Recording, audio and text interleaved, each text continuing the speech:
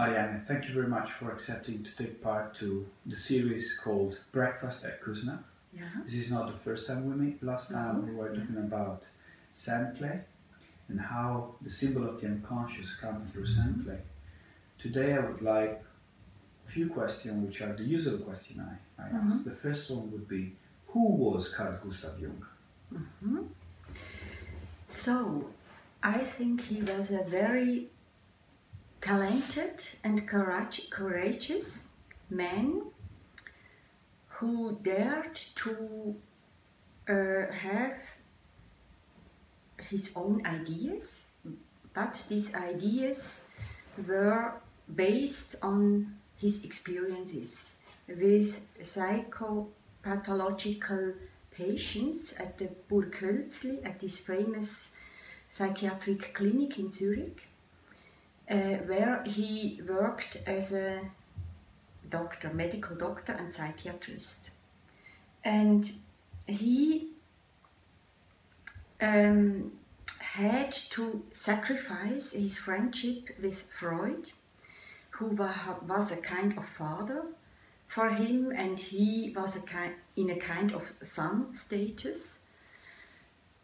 And when he was um, developing his own material, and this is, I, I um, think, uh, uh, of the collective unconscious, uh, he knew that Freud never would accept it. And so he was very anxious first to uh, um, public his thoughts and yeah, because he had the fear that Freud would break with him, and it was like this. So he was very courageous at the end, and fortunately for us, uh, because uh, he published his thoughts about the collective unconscious and the archetypes, which are the resource for creative energy and for new life, which gives such a lot of hope and possibility for people who perhaps were not so lucky in their private life with their concrete personal parents and not only the parents, perhaps the whole environment was not very lucky for this uh, person. And when she makes an analysis later and deals with the, her problems, his or her problems, um, there uh, can be found new possibilities that were hidden, that the person never uh, experienced before. And so, very new aspects can come into the life of a person so that the person can overgrown uh, wounds, for example, of the childhood or also from later times of puberty, especially. It's a very vulnerable phase. And also, yeah, Who is your own Jung? When did you meet Jung? Obviously not in person. When did you decide to become a Jungian analyst? Yeah. So, this I decided rather young.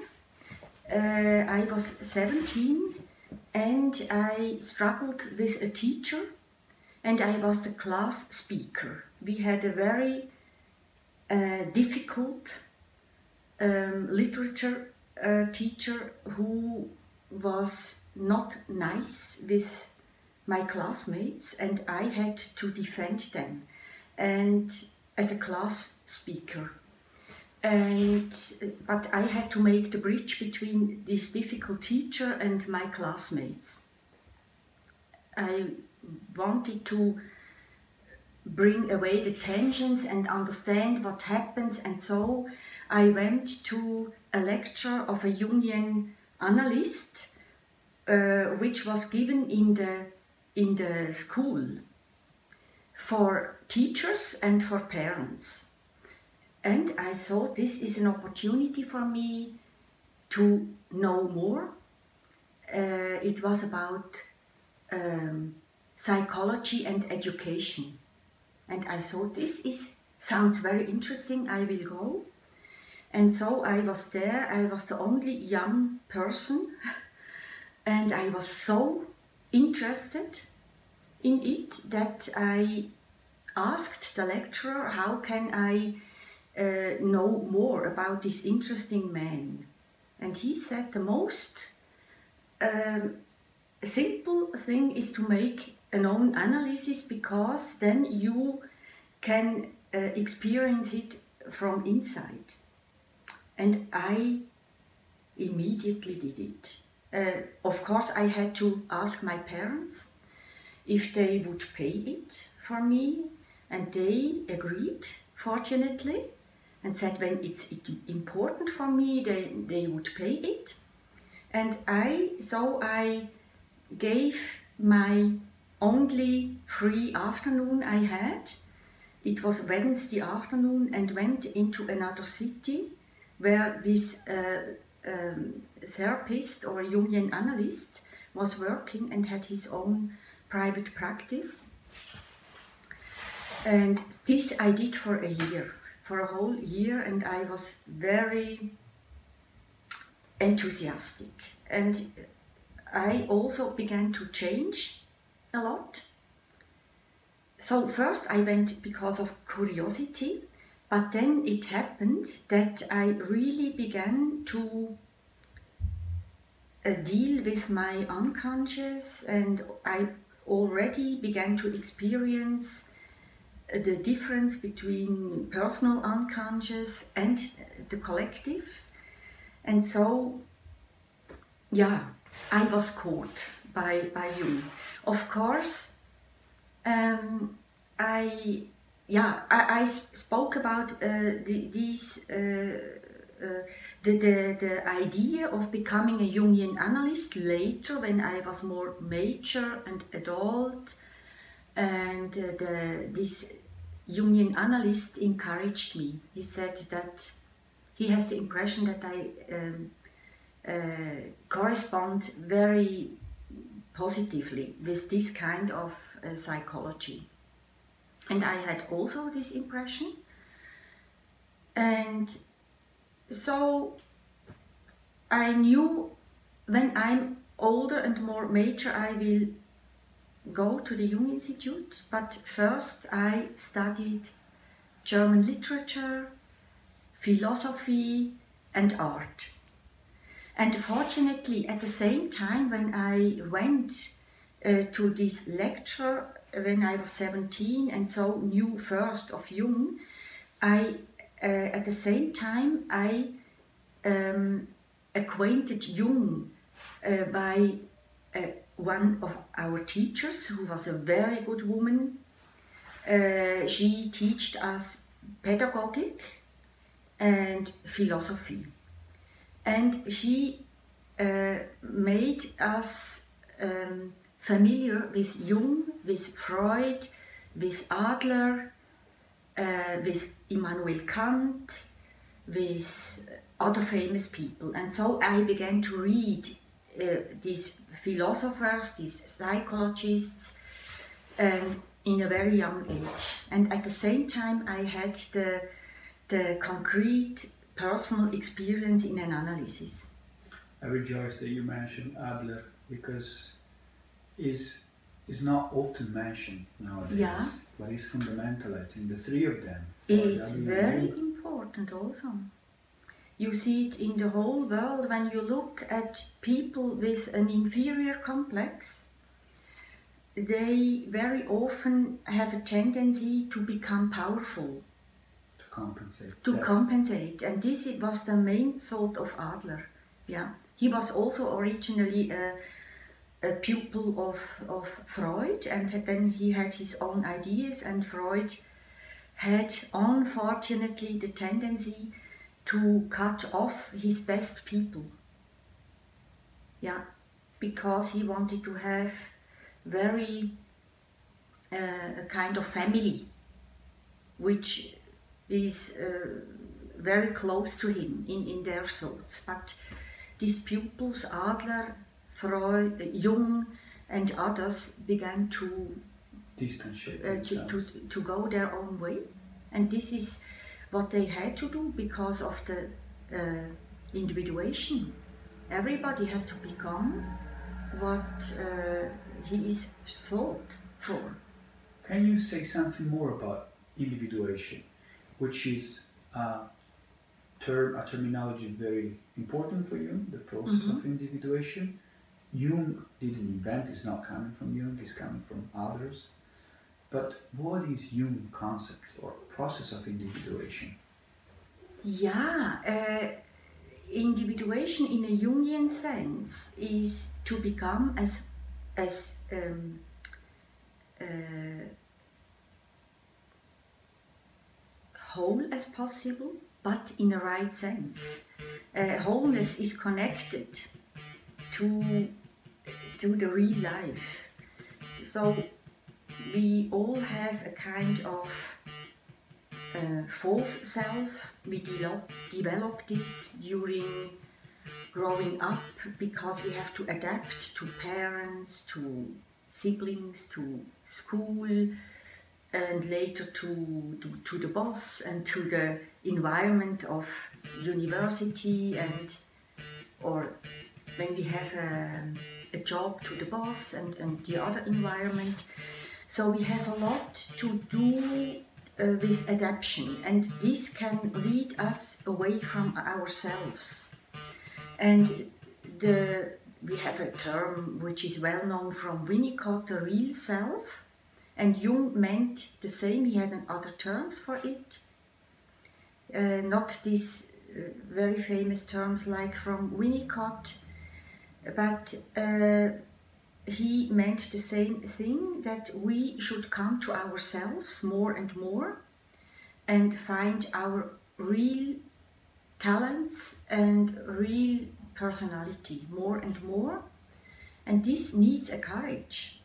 He somewhere says that people want to make an analysis to learn more of themselves, but very often they are too anxious.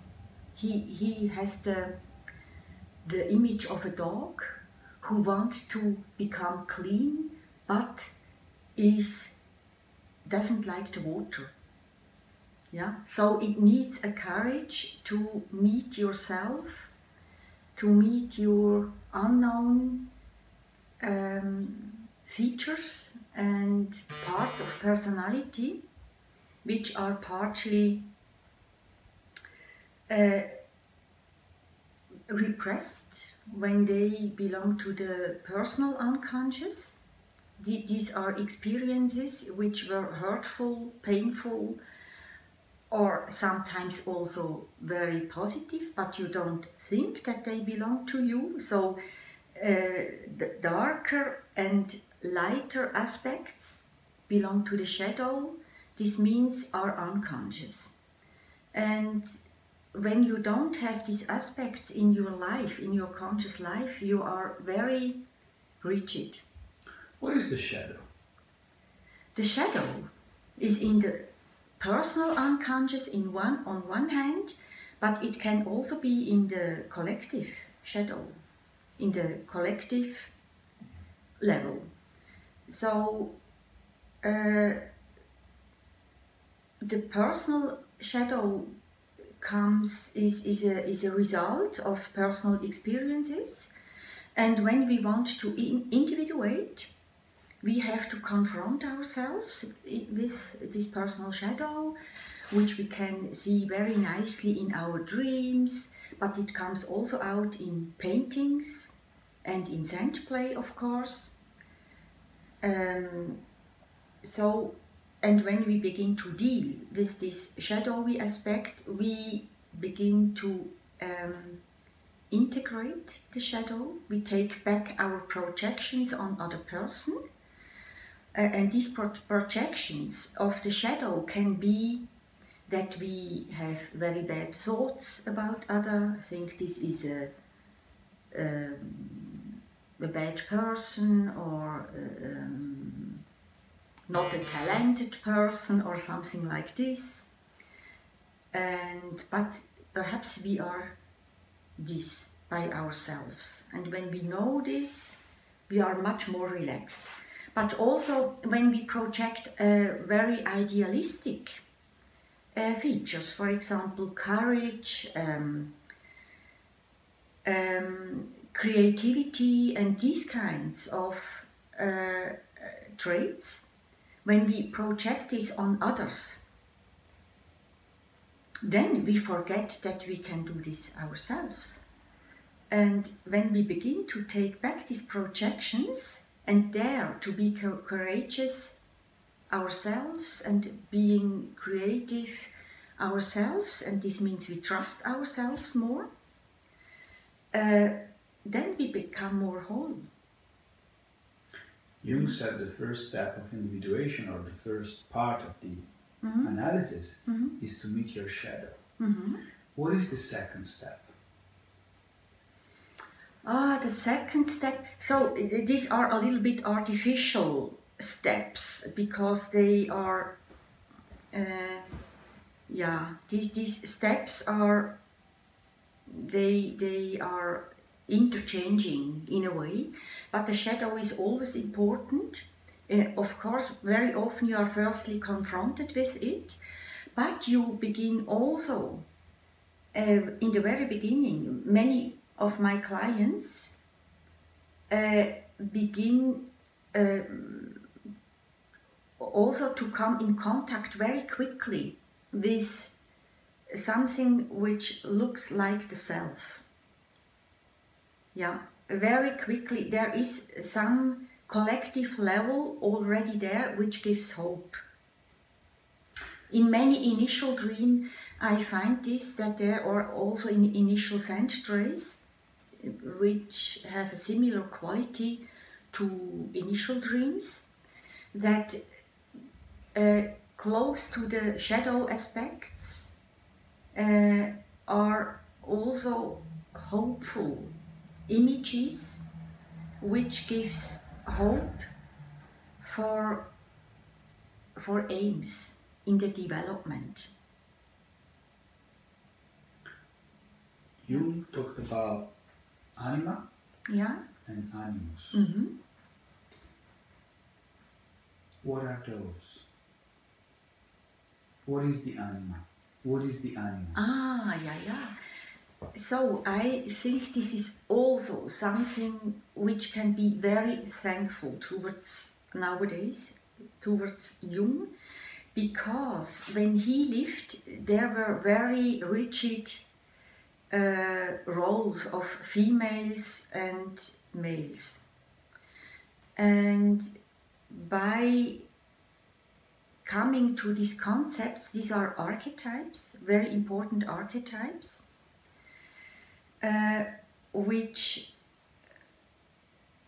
so perhaps I say what he thought what animus anima is and then what animus is.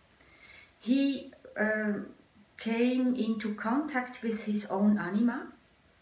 Um, he was forced to come in contact. It was not uh, something, it was not like a play or a thought or so. He was forced because of his unconscious material.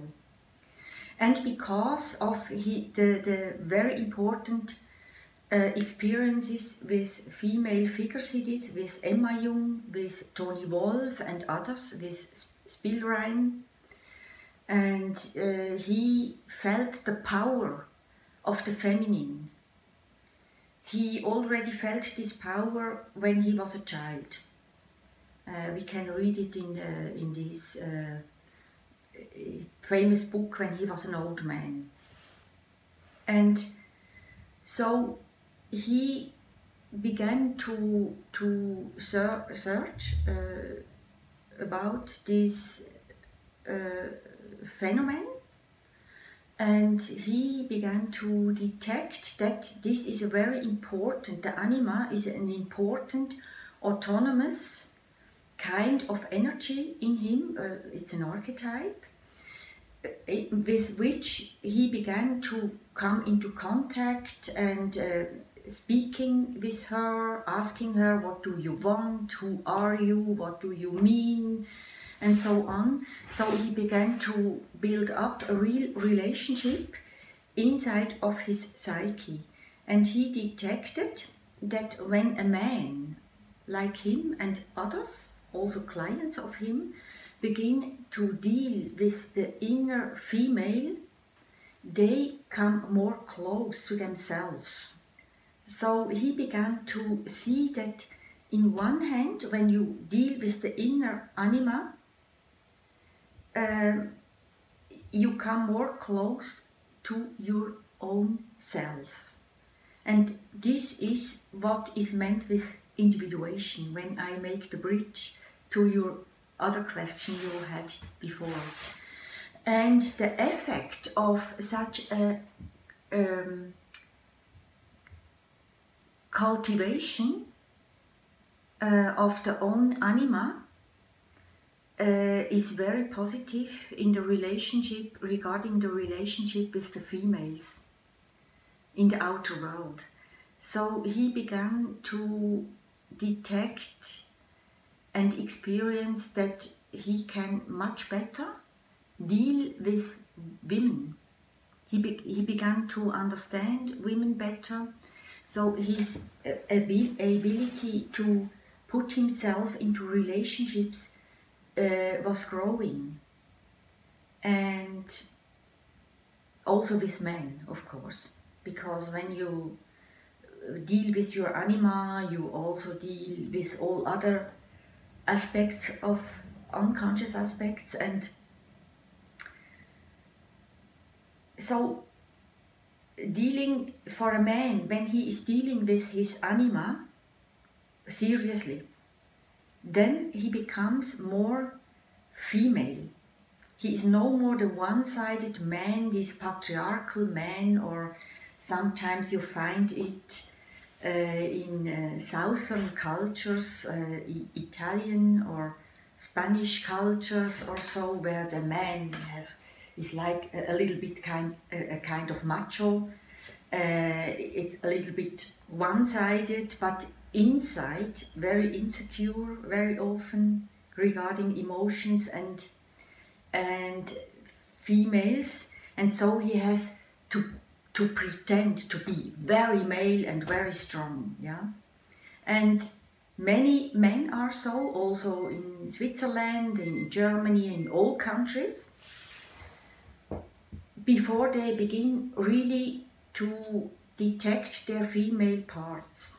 And it's not easy for a man to develop his female attitudes because the collective uh, roles pretend a man has to be strong, cool, uh, and so on. Uh, he has to uh, he has to be a good fighter, uh, and so on.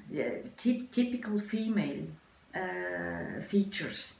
But the man is not only this, and when he stucks in this role or in these features, then he is one sided and he can fall in a very deep depression, especially when he is dealing with relationships, he has his crisis he isn't able to deal with it.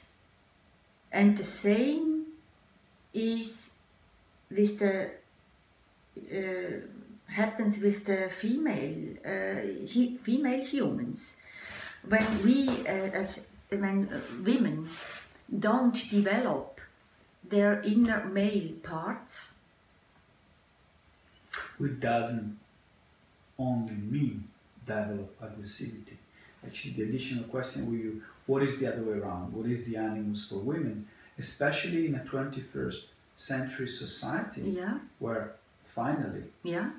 women don't have to stay home as in a patriarchal society yeah, yeah, although we are still in a patriarchal society mm-hmm. where women can have a job can mm-hmm. study can learn i'm a father of three daughters but then how do emotion work in this new negotiation of roles in the couple.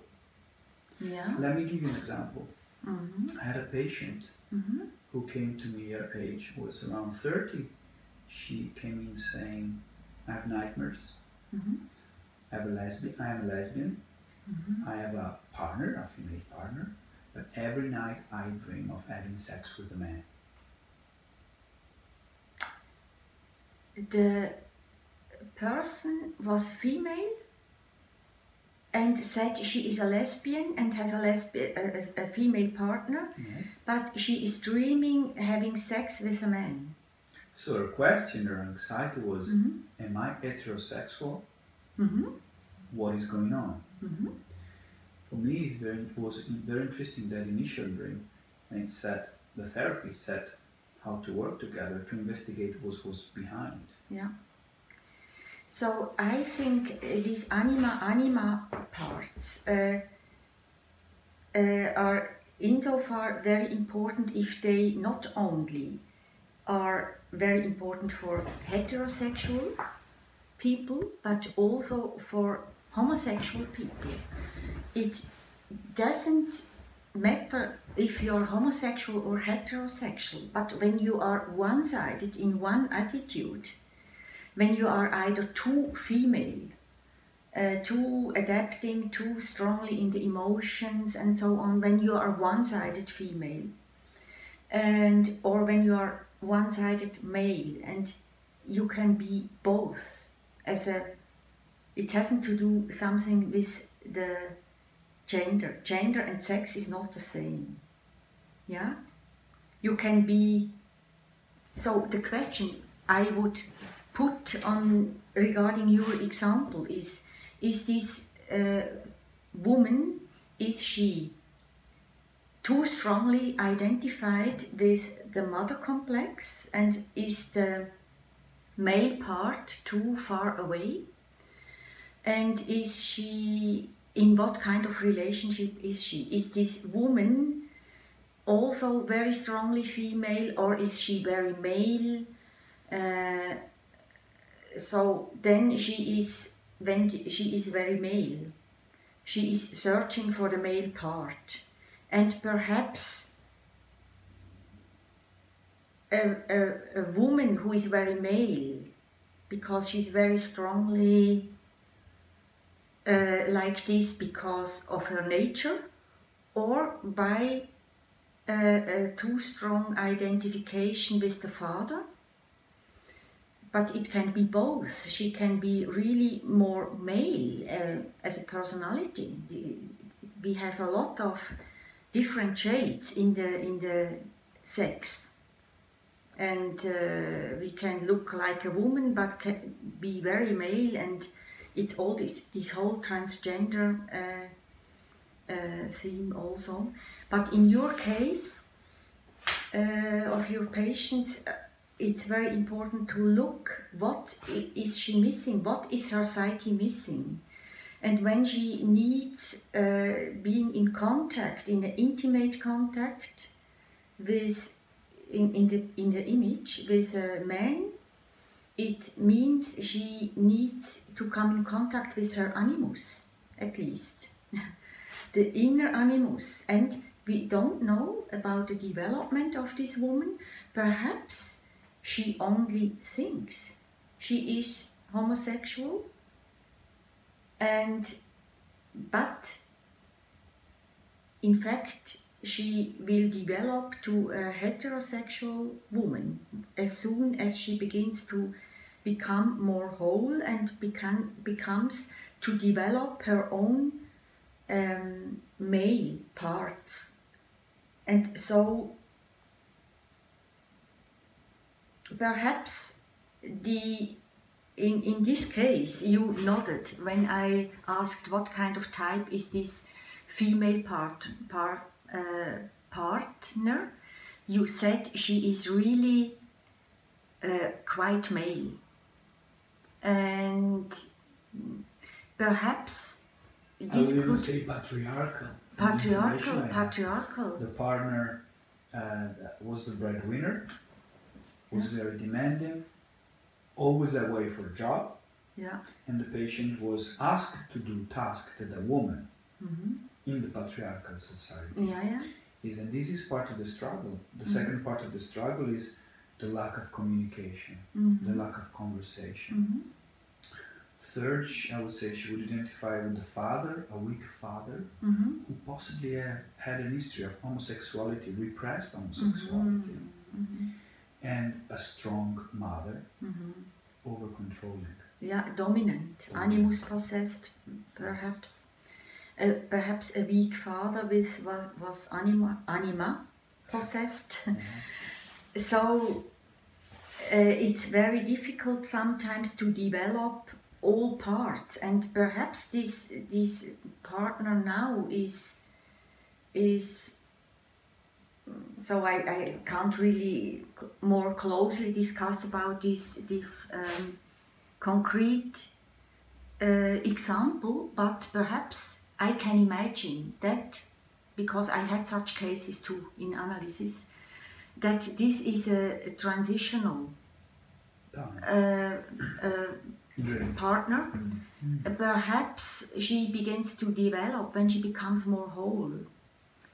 She bega- begin to change her choices, choices for partnership. Perhaps it will be a man. Perhaps not. We don't know how she develops. Perhaps she is a real lesbian uh, woman, and then she prefers women. Really, but perhaps she will change the partner if she is a real lesbian and needs uh, um, uh, a good re- relationship where emotions have enough space and then either she will have a feminine male partner who is very good uh, connected with his emotions or she will have a, a nicer, warmer, more feminine lesbian partner. Yeah. Yeah, perhaps the point is to get in contact with, with oneself, Yeah, with ourself. Yeah. which is portrayed in the dream, making love with, Yeah, with the yeah, man. Yeah. It's not about who your partner, what sex is your partner going to be, a man, a woman, Mhm. bisexual, Mhm. not interested in this, but it's really to find a space for comfort where she could develop, Yeah. both personally, professionally. Yeah. It's interesting, and you know my interest of contemporary sociology about post-gender, post-biblical, post-class society, Yeah. but also where do we put the emotion? I remember she said, I struggle with my partner that is so demanding, so controlling, so patriarchal somehow, and I miss my kitchen. I feel good in my kitchen. Mm-hmm. I want to cook. I Mhm. want to cook the specialty from my country. But at the same time, I struggle. Because Right. My identity is not just being in the kitchen. Aha. Yeah. So it's really a request for development. Yes. It's. From, you said, the collective society, what Mhm. society for thousands of years Mhm. has said a man and a woman should be, Mhm. and new categories. Mhm. And I truly think that we are still in transition. Mhm. It's too easy, too fast, too quick Yeah. to say "Wo- new women are like this, new men are like this. Mhm. I think Andrew Samuels is very good in portraying the new father. Yeah. But again, there has to be a conversation within the couple Mhm. of whatever sex, Yeah. as he says. Yeah. Yes, of course. And I think uh, sex uh, is related to the feelings also very strongly. And when the feelings, uh, yeah, when this is connected and the problems are also connected, yeah. And I think uh, the personal development uh, is very important in, in, in every kind of partnership as soon as it's no more possible to develop in a way that uh, you let behind old features, that you can open new possibilities and becoming more uh, rich in your whole personality. When as soon as this is no more possible, uh, we should ask Wow. ourselves why is it is my partner blocking me? Can we, how can we deal with it? Or am I myself blocking me? And at the end, we can use this anima anima concept very creative to develop our missing parts, to become more strong, autonomous, and um, either we are male or female, we have to develop our missing parts. And in the tendency, women collective, collectively seen uh, have more a lack of uh, strong masculi- masculinity and have to develop these animus parts. But not all women. It depends on which whom of your parents you you um, identify more. So when you have a very weak father, like this patient in, in your case, uh, and uh, but perhaps a nice father, perhaps uh, he is more close with her feelings to him, then perhaps she identified more with him. And because she had not nice feelings with her mother uh, who was so dominant and animus possessed. But it i could imagine imagine in this case it's only a hypothesis she when she was more identified with a female weak father as she describes him uh, who is more close to feelings, to female attitudes, to female talents, uh, like cooking perhaps, uh, then she is searching for the other part, for the male part, but in the figure of a woman. And she then she is dominated by this very negative mother complex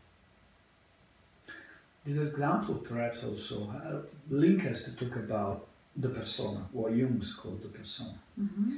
Because the anima, the animus, mm-hmm. the shadow are somehow unconscious until we meet them yeah. in our dreams. Yeah, yeah. But our persona, Jung says, is the mask we put to cope with society, mm-hmm. to cope with the outer world. Yeah, yeah.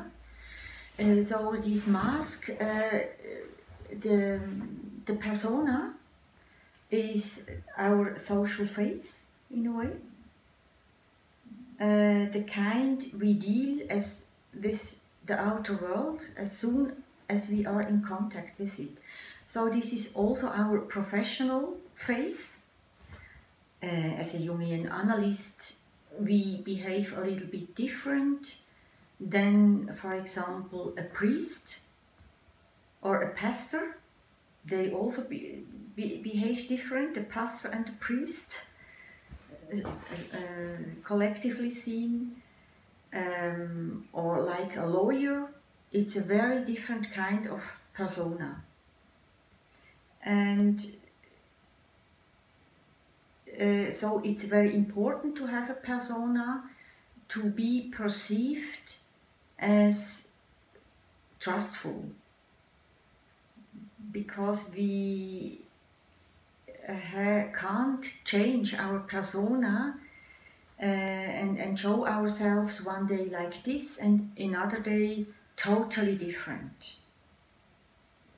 Because then we are not trustful yeah in our attitudes and uh, kind of thinking and saying. But there is also a danger that people can become too rigid in their persona and then they stuck in the persona and lose the contact to their real life, to the real self. Uh, what means that they don't feel alive anymore, really. They perhaps fell into a depression. Uh, I have an example of a, a friend who was a pastor and he had a very interesting dream. He was in a very bad state, had also conflicts with his wife. He was very unhappy. Uh, he was about between 50 and, and 60. He was a very talented uh, man on in the uh, breeches. His profession, yeah. Yeah, in his pro- yeah in his profession, but he felt more and more depressed. And I watched him and had the impression he's depressed because he was too strongly caught in a certain role of being a pastor. And then he told me privately, it was not my client, a dream that he stands in his kitchen, he is weeping, uh, he's together with his wife, and his wife is standing there with a very apathic face, and he is weeping and says to her, I'm so hungry, I'm so hungry, please give me something to eat. And she is standing there without taking contact to him, very apathic. And he begins to look in his cupboards, in the, in the cupboards in the kitchen, in the fridge there, everything is empty. He doesn't find anything to eat. And this is a very impressive image for having no more anything nourishment in this relationship and that he has and in himself of course the dream is his dream so his wife is an image in the dream is an image of his inner wife. And of course then he have to ask what is my concrete relationship to the outer wife? How good is the nourishment between us? And i recommended him to make an analysis, to come in contact again with him, uh, to his resources, to find a vivid anima, a life full anima. Um, uh, so to come in contact not only with his personal unconscious but also with his collective, to find new resources also. When men, women Mhm. go through a difficult time in their relationship with the partner, like in Mhm. this case. Yeah. This is a case of a priest, a pastor. There's an ethic behind it. Many men uh, get busy in overworking. hmm Some drink. Yeah. Some take drugs. Yeah. Some they spend all the time doing sport. Yeah. Some they find a lover. Yeah. The same could be for the woman. hmm What is your suggestion from a psychoanalytical Jungian point of view that Mhm. is related again to look for your anima, your animus? So, do you still link this question to the persona also? But also, yes, but also to the anima, because on Yeah. the surface you Yeah. can have a man or a woman Yeah. that is well adapted to So, society. when a man, like in my example, uh, performs uh, too rigid anima, he at the same time is too far away from his anima, from his uh, uh, shadow figures, from his uh, male parts, uh, because they are in a certain kind uh, anima, and uh, person, anima, animus, and shadow are in a certain um, regards in contrast can be in contrast to persona because the persona tries to hide all kinds of shadows you want to be good to seem a, good analyst to seem a good uh, pastor or even a perfect pastor. And so you try to hide your shadow parts even before yourself. And so you lose your life the contact to your life and fall into a depression and when you fall into a depression you can try to yeah you begin to develop very often a kind of compulsiveness which helps you to deal with your duties but rigidity also. Huh? Rigidity. yeah rigidity yeah yeah a lot of rigidity, and this is not the good kind of persona, of course. We need a persona, but when the persona is too rigid, we don't feel the person through the persona, and the person should be um, um, uh, seen or uh, you, you should be through the persona, the person should be present, the real person should be present through the persona.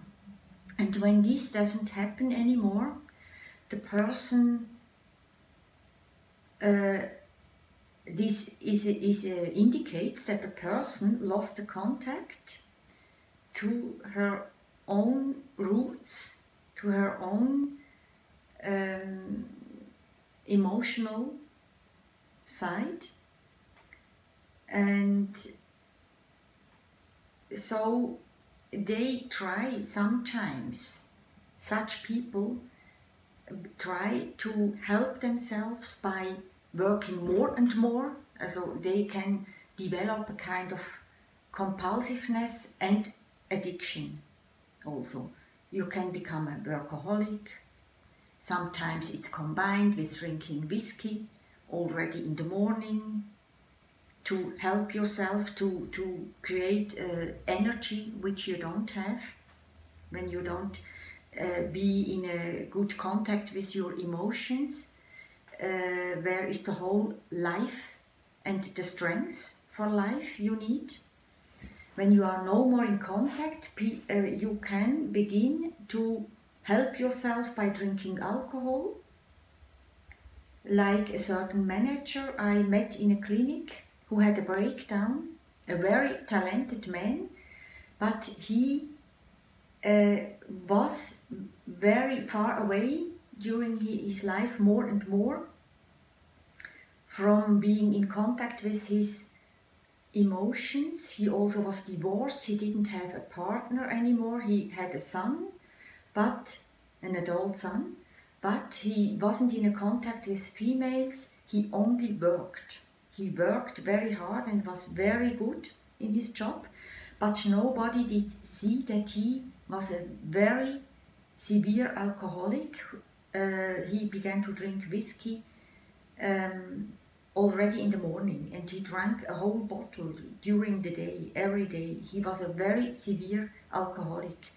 And he then was found by his son uh, with a Korsakoff syndrome so he had a damaged brain for the rest of his life. Uh, it was a very sad story.